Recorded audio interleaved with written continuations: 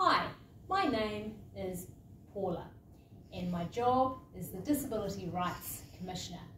It's New Zealand Sign Language Week